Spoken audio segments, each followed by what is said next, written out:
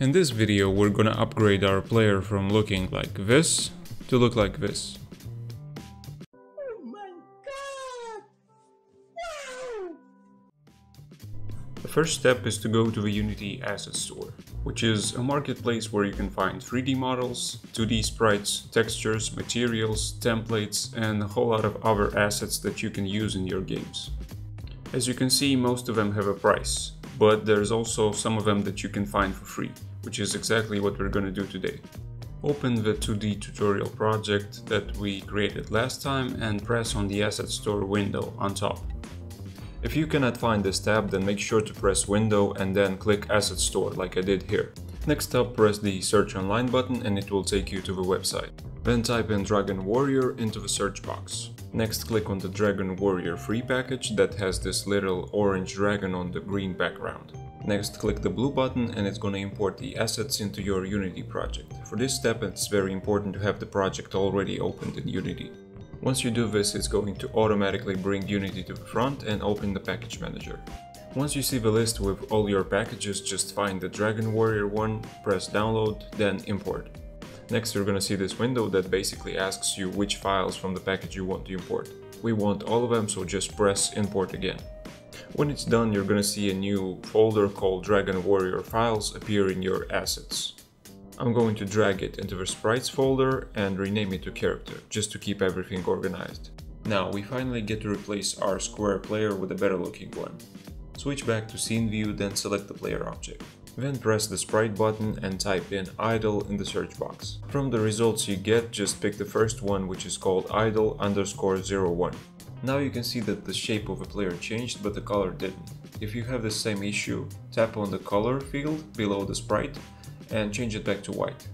Now the colors are looking great, but our player is really small, so I'm going to increase the scales to be 1 on all axes.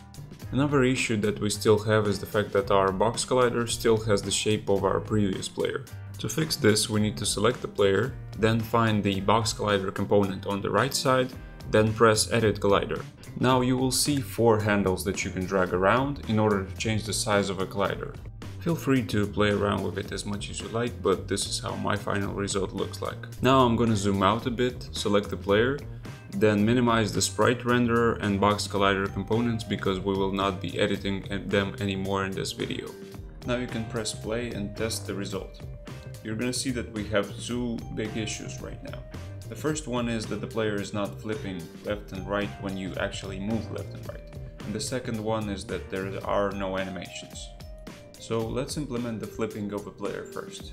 Exit play mode and double click the player movement script in order to open it. To make the player flip left and right we need to check the horizontal input first.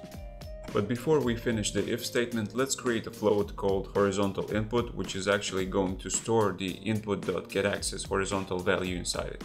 It's just going to make it easier for us to write code in the future. Now let's make sure to replace the input.getAxis value with horizontal input here and here. Alright, when you're done, we're going to continue with our if statement. So we will check when the horizontal input is bigger than 001, which means the player is moving right, and we will change the player scale to be 1 on all axes. Just to demonstrate how this works, I'm gonna go back into Unity. You don't need to do this right now. So check this out. You already know that every object in Unity has a scale property, which we can change. And what we want to do right now is change the scale of a player to be 1 when he's facing right and minus 1 when he's facing left. Keep in mind that we will edit the scale only on the x-axis, not on all of them. So now that we know what we have to do, we can get back to coding. So our player is already facing right when moving right. That's handled by this if statement. Now we need to add an else if statement that checks when we move left. And this time we're gonna check if the horizontal input is smaller than minus 001. When this condition is met, we're gonna set the local scale of our transform to a new vector 3 with values of minus 1, 1 and 1. And just to make sure that you remember what this code does, I'm gonna add a comment on top of it. It's generally a good idea to write comments for yourself when you write some complex piece of code that you might forget in the future. And finally we can go back into Unity and test how this all works. As you can see the flipping is working perfectly. It even works when you are jumping and you want to change directions as well. So this issue is solved. Moving on to animation. The first thing that you need to do when animating an object in Unity is attaching an animator to it. To do this, you need to select the player, press Add Component, then choose Animator. Now we will create a new folder and call it Animations. We will keep all of our animations in here. Once you're done, open the folder, then right-click inside it, then choose Create and Animator Controller. Right after you create it, you can give it a name. I'm gonna call mine Player. Now select the player on the left side and drag the animator controller you just created into the controller field. When working with animations in Unity, you need to keep two tabs open, Animator and Animation. You can see them right here. If you close them by accident or you don't have them at all, just make sure to go to Window, Animation, then pick Animator and Animation as well. When you open them, they're going to pick a certain position on the layout. In my case, the animator went to the top bar and the animation opened as a separate window. You can drag them around and place them wherever you feel more comfortable. I like mine to be on the bottom. Okay, as soon as you're done, select the player object, open the animation window and press create. For the new animation, we're gonna pick the name idle. Then press enter and click on this red circle in the animation window. This button allows us to start recording a new animation, so make sure to press it, it's crucial for this step. When you press it, you're gonna see that both the button and the timeline here becomes red, which is a good indication for you to know when you are recording an animation. The next step is to extend the sprite renderer component and press on the sprite button. Then you will see the select sprite window and you will type in idle in the search bar. Then press on idle 02 once and double click idle 01. The select sprite window is going to close automatically and now if you look inside your animation you will see that you have a keyframe at second 0. Next press on the 005 marker or drag the white line towards it. Now press the sprite button again, type in idle and double click on idle 02. Now you have the second keyframe. Let's repeat the process until we have 6 keyframes with all the idle sprites. Make sure to move the white line on the timeline every time before you change the sprite on the player. When you're done, press the red button, then press play to see how your animation will look. You can also hit play on the top bar to see how it will actually look in the game. It's much better than before, but I personally think that it's a bit too fast for now, so let's slow it down a bit. To make it happen, we need to go back into the animation window and select all keyframes, which you can do by either pressing Ctrl A or Command A or box selecting all the keyframe with your mouse. Now to extend the animation you need to press the little blue line on the right and drag it from 25 milliseconds to 45 milliseconds which is going to make the animation slower because it's going to add more time between the frames. Okay, I think it looks good now, so we can move on to the rest of the animations. Let's continue with the running animation. To create a new animation, press idle and from underneath it choose create new clip. Let's call it run and press the red button in the animation window. After that, we're gonna do exactly the same thing as we did with the idle animation, only this time we're gonna type in walk into the search bar and choose all the sprites related to walking. Alright, when you're done, you can zoom in on your character a bit and press play in the animation window. And this time I'm actually pleased with the speed, but if you want to slow it down or speed it up, use the same technique that we used for the idle animation. Alright, now we have a running animation. Now the question is how do we implement it into the game? To solve this, we first need to open the animator window. Now I want you to pay attention to the yellow rectangle that's called idle and the gray rectangle that's called run. These are the animations we just created. The idle animation is orange because it's set as the default state of the animator, which means that every time when you start your game or your level, your character is going to be in default state, which is what we want. But now we want to create a condition which allows us to take the character from the idle state to the running state. And to do this we need to create a transition. Now right click on the idle state, press make transition, then left click on the running state. You're gonna notice that the white arrow has appeared and it's connecting idle to run. If you left click it, on the right side you're gonna see that it has some properties. We're gonna tweak them in a second, but for now let's create another transition. This time we need to right click on run, press make transition, then left click on idle. This transition is going to help our player stop running and go back into the idle animation.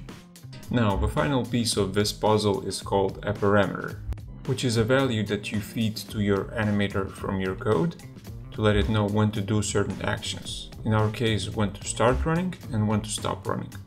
To create a new parameter, you need to press the parameters button right underneath the animator tab. And you're gonna see a text that says list is empty, which means we have no currently created parameters. To make a new one, press the plus sign, then choose a boolean and call it run. Now you can press on the transition arrow between idle and run and on the right side underneath conditions press the plus sign. Now you'll see that run was added automatically and that's because it's the only parameter that we have in our animator. And the value is set to true, which means that our animator will transition from idle to run when the run boolean will be equal to true. I think you got the point. Now let's take care of the opposite transition from running back to idle. So pick the transition arrow, add a new condition, but this time instead of true, pick false. Now the next thing that we need to change is this has exit time checkmark on both of our transitions. When has exit time is enabled, your transitions will not be immediate, which means that it will take you a bit of time to change from one animation to another. It might help you in some cases when you're trying to create more natural animations, but in our case we want it to be immediate and we want it to be very snappy. So select both of our transitions and turn exit time off. Okay, now our animator is ready to handle the transition from idle to running and from running back to idle. Now the question is, how does it know when the run parameter is true and when is it false? To handle that we're gonna need to do a bit more coding in the player movement script. First off, we're gonna need access in the code to our animator component. To get it, we're gonna use the same principle that we used for our rigid body 2D component. So create a private animator called anim or whatever else you like. And in the awake method use getComponentAnimator to get access to it. And just to help you understand this code better and remember what it does, I'm gonna put a comment on top of it saying that these two lines help you grab references for your rigid body and animator component from your game object. Okay, great. Now that we have a reference to our animator, we can use it to set the value of our run parameter directly from here. To do this, we're gonna go inside the update method, and I'm also gonna put a comment in here as well so you understand what this does. Then I'm gonna say anim dot set bool because our run parameter is a boolean as you might remember. Then I'm gonna open the round brackets, then I'm gonna open the quotation marks and type in run inside. Make sure that the name that you put in here is exactly the same as the name of the parameter inside the animation window, otherwise it's not gonna work. Then you need to put a comma and give it a boolean value, which means true or false. But as you can see, I didn't do it. I actually put in horizontal input exclamation mark equals zero. So what does this mean? To explain it briefly, this is basically a logical check to make our code clearer and shorter. Let me illustrate how it works with an example. As you remember, the horizontal input depends on whether or not you are pressing the left or right arrows. In this case, let's say that you are not pressing any of them. And as you know, the horizontal input in this case is going to be equal to 0. So now you can read this statement like is 0 not equal to 0, which obviously in this case is false. So you take this false value and you immediately feed it into the run parameter, which ultimately means that your player is not to run, it's to play the idle animation. Now consider the opposite scenario. Let's say that your arrow keys are pressed. Let's say that your D key is pressed or your right arrow key is pressed. The horizontal input is to be different than 0. In fact, it's to be 1. So is 1 not equal to 0? Yes, it's not equal, so we get a true value. So when your right key is pressed, your player is to be running. And the same thing goes for the left key. Alright, sorry for the long explanation, but I really wanted to be concise here so you can understand what's really happening behind the scenes. So finally you can go back into Unity, press play and see how it works in action. The player is facing the right direction and the animation of running is playing correctly. Why are you running? Why are you running? But the player is also running while in midair and we have no jumping animation, so let's tackle that next. We'll start off by selecting the player and creating a new animation, just like before. We'll call this one jump, press the red animation button and change the player sprite. In the search box type in jump and select jump 01 for the first frame and jump 02 for the second frame. And that's it, this animation will only have two frames. If you open the animator window you're gonna see the new animation jump here, but it's not connected to anything. So let's solve this. Create a new parameter of type boolean and call it grounded. Now I'm gonna drag the jump state up so it's parallel to any state. Now I'm going to right click any state and create a new transition from it to jump. Then select this transition arrow and add the condition that when grounded is false, we're gonna transition from any state to jumping. And don't forget to turn off the has exit time checkmark if it's active. Now you might be asking, why did I make the transition to jumping from any state and not from idle, like we did with the running animation? And the answer is simple and it's the fact that we need to transition to the jumping animation as soon as the player presses the spacebar. So it doesn't matter in which state your player is, idle, running or whatever else we'll add in here, from any state it's going to transition to jump as soon as the spacebar is pressed. Okay, enough explanations. The next step is to transition from jumping to idle when grounded is true. So every time our player hits the ground, the jumping animation is going to transition into the idle animation. Don't forget to turn off has exit time here. Now we need to change one small setting, but it's gonna be very important. We need to double click on the jump state in the animator window. And in the upper right corner we need to turn off loop time. So what does this setting mean and why it's important? So let me put it like this. When loop time is turned on, your animation is going to replay until you enter another animation. When it's turned off, your animation is going to play only once, then stop. Let me demonstrate this by example. Choose the player object, open the animation window and choose the idle animation. Then press play in the animation window. See how this animation basically repeats endlessly until you stop it? This is an animation with loop time. Now in the animation window choose the jump animation and press play. You see that it looks very glitchy and stuttering basically horrible. This is why we need to play this animation only once when the player jumps, so we need to turn off the loop time. Alright, now that you have a solid understanding of how this all works, let's get back to coding and finish this thing. First off, make a new private boolean variable called grounded. It's going to help us keep track of when the player is on the ground and when it's not. Next up we need to optimize our jumping code, and to do this we will create a new private void called jump. And inside this method we need to place the code from line 29 which is responsible for jumping. Now on line 29 where the code used to be we need to call the jump method. Now back to the jump method.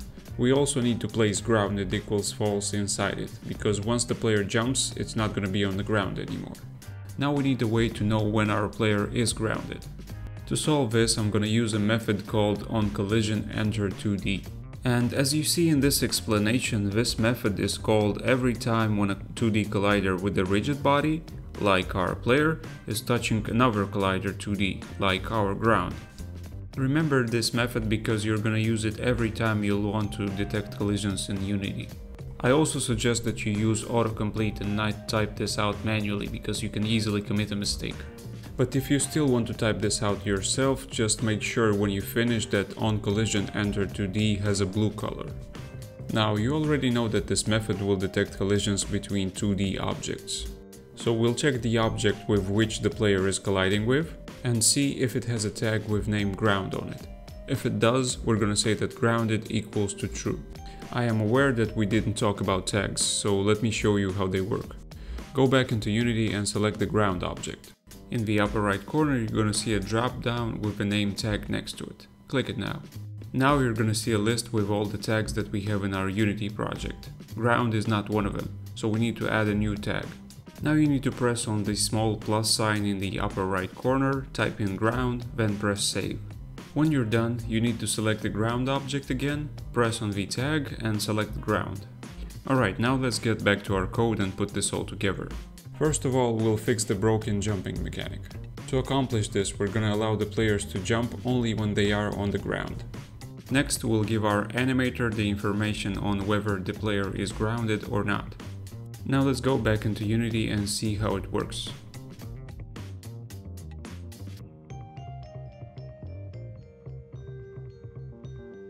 You can see that the jumping animation is working, but it's not working immediately. It takes a bit of time to transition from jumping to idle.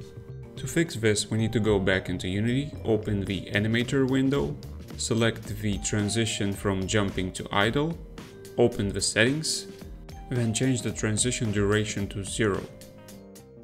Now choose the transition from any state to jumping and do the exact same thing. Now we have one final step to do for this all to work perfectly. In the animator window, add a new parameter of type trigger and call it jump. Select the transition from any state to jump again and change the condition from grounded to jump. And finally, we need to make this trigger work in our code as well. So in our jump method, let's add a line that says anim set trigger jump. And that's it. Finally, you can go back into Unity, play and enjoy your perfect animations. Thanks to everyone who watched and got this far. I wanted to cover a lot more in this video, but it's already way too long, so let's leave it for the next one. As always, if you have any questions or problems, feel free to ask them in the comment section or on Discord. And if you found this helpful, make sure to click the like button and subscribe. That's it, stay safe and keep making games.